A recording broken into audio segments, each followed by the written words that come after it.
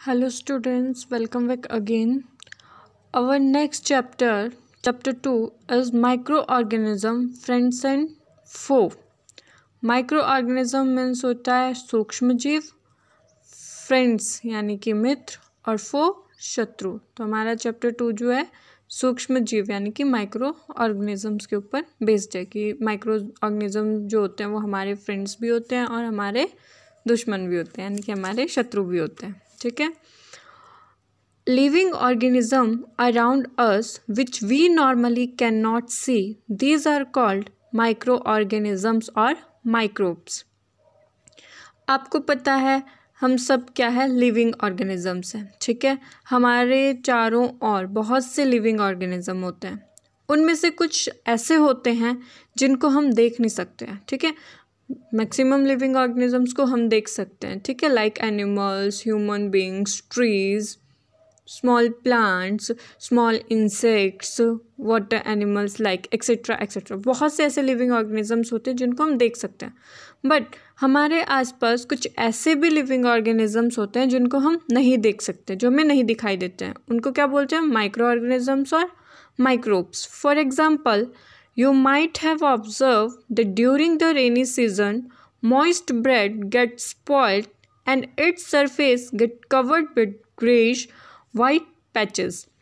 आपने देखा होगा कई बारी जैसे बरसात के टाइम पे ज़्यादातर रेनी सीज़न में अगर कोई ब्रेड मॉइस्चर पकड़ लेता है ब्रेड को हम बाहर रख दें तो उसमें मॉइस्चर पकड़ लेगा वो ब्रेड और क्या उसके ऊपर एक ग्रे ग्रे सी कलर की लेयर चढ़ जाएगी ठीक है वाइट वाइट से पैचेस उसमें होंगे ग्रेइश वाइट से कलर की एक लेयर उसके ऊपर चढ़ जाएगी।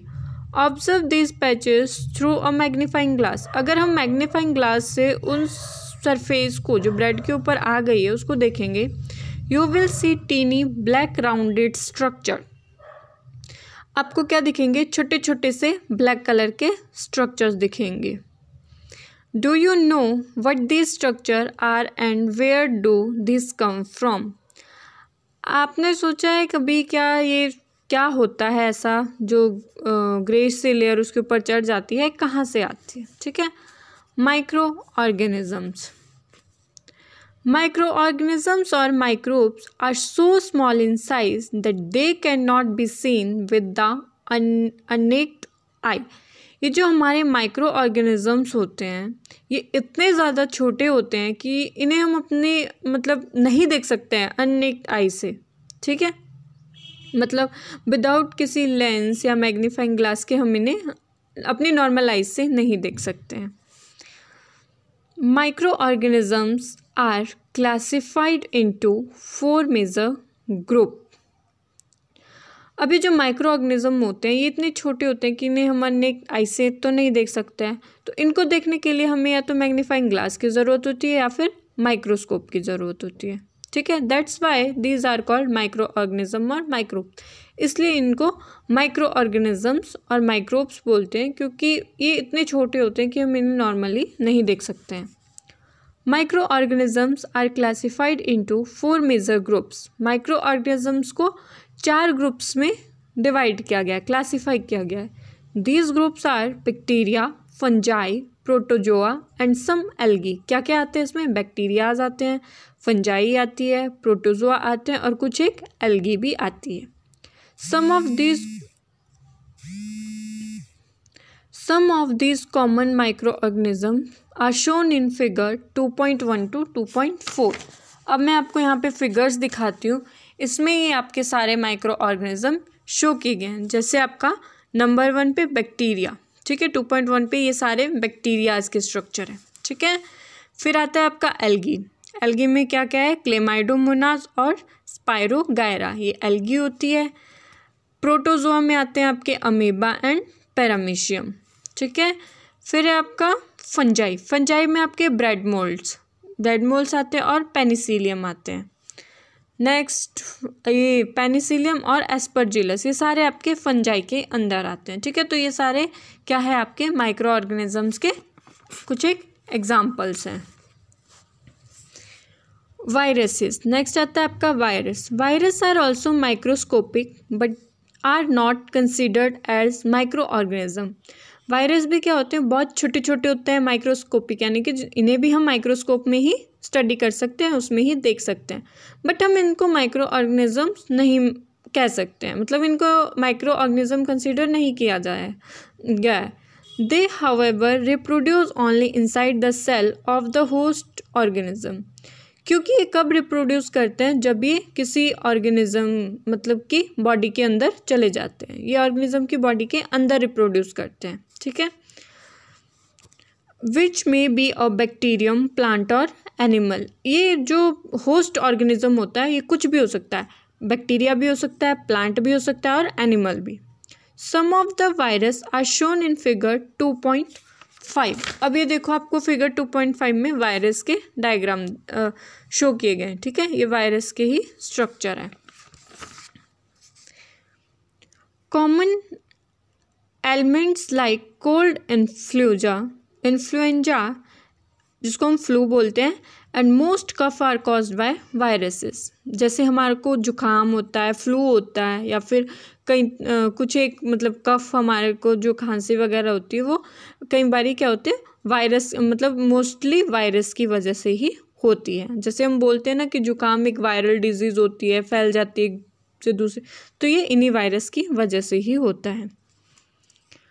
Serious disease like polio and chicken pox are also calls virus अब आपने सबने सुना होगा पोलियो पोलियो के बारे में और चिकन पॉक्स के बारे में। ये भी किसके थ्रू कॉज होती है, किसके थ्रू फैलती है?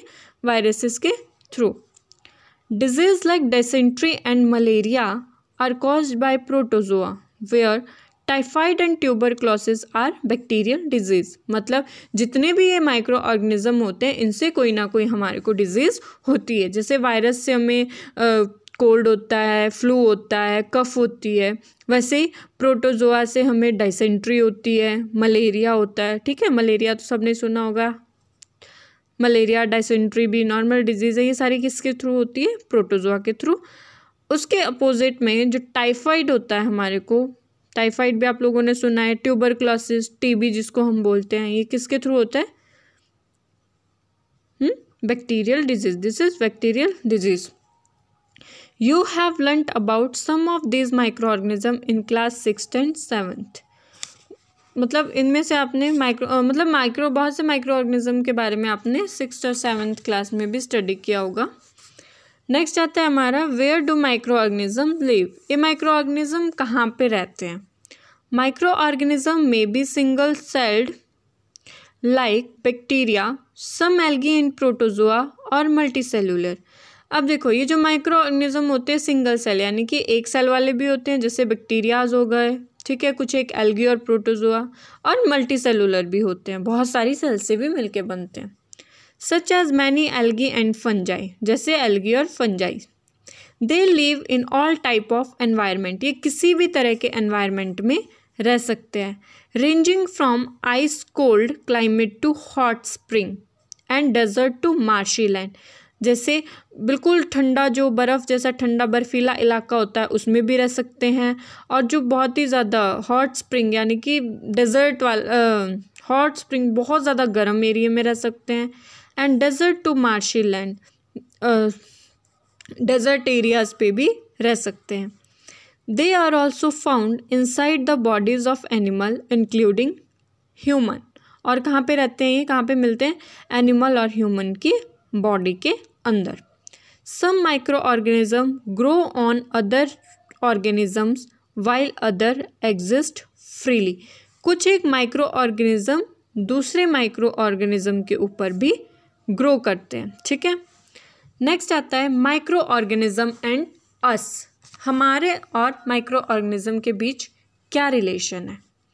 Micro organism play an important role in our lifes some of them are beneficial in many ways where some others are harmful and cause disease जो माइक्रो ऑर्गेनिज्म होते हैं, हमारी लाइफ में बहुत इंपॉर्टेंट रोल प्ले करते हैं, ठीक है? इनमें से कुछ एक माइक्रो ऑर्गेनिज़म बहुत ज़्यादा बेनिफिशियल होते हैं हमारे लिए, ठीक है? और कुछ हार्मफुल होते हैं और वो क्या करते हैं? डिज़ीज़ कॉज करते हैं। तो फर्स्टली हम पढ़ेंगे बेनिफिशियल माइक्रो ऑर्गेनिज़म जिनको हम क्या बोलते हैं? Friendly micro organisms micro organisms are use for various purpose they are use in the preparation of curd bread and cake micro जो फ्रेंडली माइक्रो ऑर्गेनिज्म होते हैं बेनिफिशियल माइक्रो ऑर्गेनिज्म उनका बहुत ज़्यादा यूज़ होता है हमारी लाइफ में। इनमें से कुछ एक कहाँ पे यूज़ किए जाते हैं? कर्ड यानी कि दही बनाने के लिए ब्रेड बनाने के लिए और केक बनाने के लिए।